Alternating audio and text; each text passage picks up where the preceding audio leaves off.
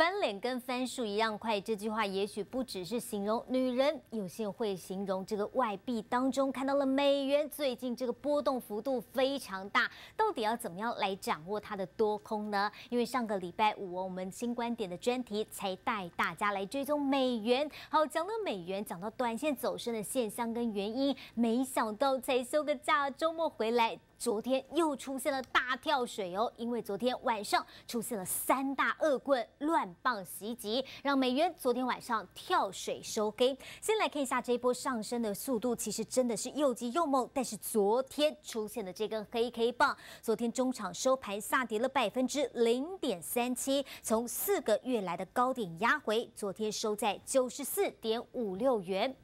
哎，这一波上涨不是说，哎，这个 FED 有可能在这个接下来要升息吗？十二月份升息的力道，还有缩表的力道，以及大家对于川普税改的期望，让美元这一波这么强势的往上攻。但是昨天晚上到底发生了什么事，让美元跳水收黑？这会是短线上？又一个分水岭吗？到底是谁的气场这么大，把美元从四个月来的高点硬生生给拉下马来呢？我们帮大家整理出来三大原因，这就是重击美元信心的重要三大标的。首先来看到的就是通俄门的事件再升级，因为现在查出来了，前总理、从前竞选经理还有前副手呢，他们现在已经正式的遭到起诉了，甚至有幕僚已经认。最协商好通俄门的事件会不会干扰到川普的施政之路？再来看到第二个原因，就是 FED 的理事现在呢，他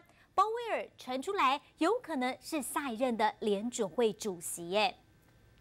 原本说这个有可能要接任联准会主席的人是比较偏鹰派，有可能会积极的升息，做法跟叶伦完全不一样。但是现在又有消息说，川普啊就怕这个政策改变的太大，太干扰到市场的运作，所以有可能还是回归到叶伦的路线。如果真的是他鲍威尔，他的行事作风都比较接近叶伦，让市场的惊动性让降到最小的话，那是不是大家不？用太担心这个升息升得太快，缩表缩得太快，所以美元升值的力道是不是又减弱了一点点？最重要的原因当然就来自美国总统川普。川普呢，本来税改大家希望他能够一步到位，但是现在好像他又传出来，国会考虑要逐步的下调企业税。